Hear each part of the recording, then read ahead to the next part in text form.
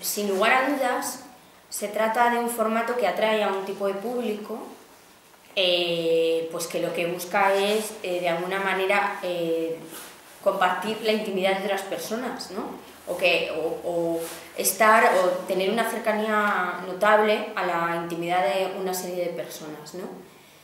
a partir de ese elemento se puede establecer que de alguna manera hay un restablecimiento del vínculo comunitario, ¿no? del, del, estar junto a otros eh, que un poco remite pues, a lo que ha sido la evolución de, las últimas, de los últimos tiempos en las sociedades, en que la vida se ha hecho muy fría a determinados grupos humanos.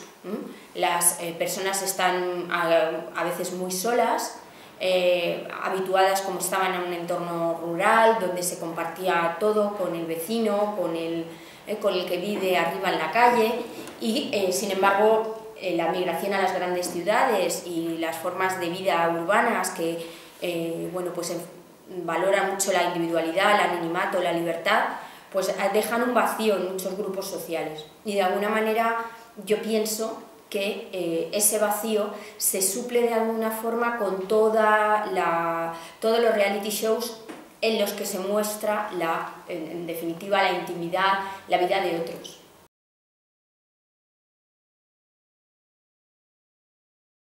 Parece que es algo demandado, parece además que esa influencia mm, sería más bien un eco, una acogida de ese tipo de programas. Tengo entendido que en otros países, por ejemplo, hay algunos de esos eh, programas como Gran Hermano que no han tenido tantísimas ediciones como lo está teniendo en España. Lo que, lo que apunta un poco a las bases culturales, al nivel cultural, al nivel de instrucción de amplias capas de la población española. Entonces, la influencia bueno, pues es muy difícil hablar de la influencia de los medios de, de, un programa de esta, de esta naturaleza. Eh, en un sentido negativo, ofrece o plantea como posibles mm, modelos de comportamiento que corresponden pues, a, realmente a estratos con un bajo nivel cultural, con una baja instrucción y que en ese sentido hay una influencia, eh, una influencia negativa. Ahora, también es cierto, como he dicho antes, que este tipo de programas ah, ayuda mucho, especialmente en la tercera edad, a salir de la soledad.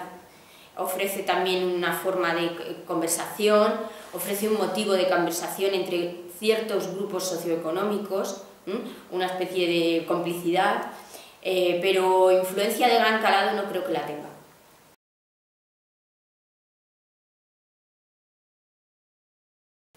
Yo no creo que suponga una pérdida de cultura, eh, sino que más bien es un indicador de la baja cultura de, todavía de muchos grupos de la sociedad española. Eh, entonces, es verdad que eh, convierte a vencedores, a personas de éxito, a personas de baja cualificación, pocos méritos, personas que, en fin, que no tienen grandes virtudes ni llevan a cabo grandes hazañas y en ese sentido normaliza la vida más baja, ¿no? la vida, por así decir, que tiene menos, menos virtud, eh, eh, y un poco socava algunos conceptos, como el concepto de esfuerzo, el concepto de educación, porque eh, bueno, pues, se trata de los participantes pueden llegar a obtener un beneficio importante.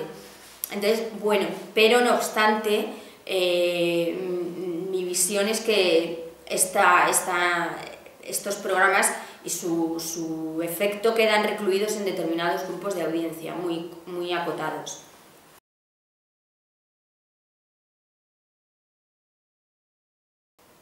¿Cómo lo valoro? Desde un punto de vista humanista, mal. Desde un punto de vista humanista, mal.